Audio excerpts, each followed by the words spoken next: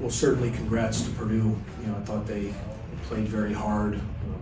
Obviously, without one of their better guys today, but a lot of guys really stepped up. You know, the bigs are always going to play well, but you know, the Sasha was terrific today. I thought Hunter, um, Ethan Morton gave him really good minutes. You know, I thought Isaiah was really good, and um, you know, coming into the game, you kind of feel like if you can hold their two big guys to 24 combined, you know, that, that you should have a chance to kind of keep it. But, you know, they were still able to get to 80 points because of, of what the other guys did. So give them credit for that.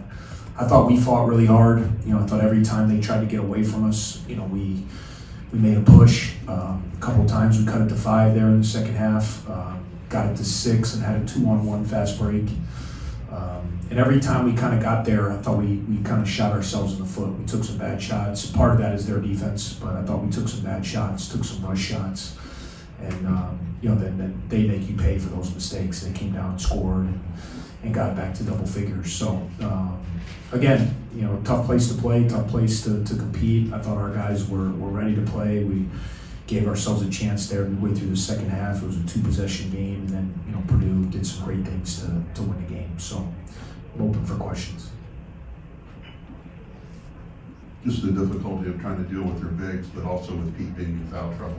Yeah, it was tough. Oh, sorry. Was there more to your question? Um, yeah, I mean, he, he, I think he picked up one. You know, right? Both him and Chase. You know, Chase got an offensive foul the first play of the game.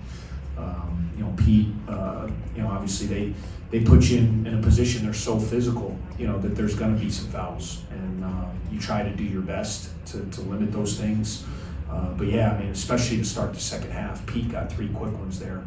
He had to sit a considerable amount of time and you know kind of lost some of his rhythm. We got him the ball there first play of the second half. He scored and then you know they, they went at him and, and he fouled. He had a moving screen there, which was his fourth foul, which was um, you know a tough break for us as well. But um, again, they, they put a lot of pressure on. Those guys are big guys. They're well schooled and they. Uh, they're they're very physical. So you know you got to do your best, but you got to know that's why in a game like this you need all your big guys. You know because you know there's probably going to be some fouling.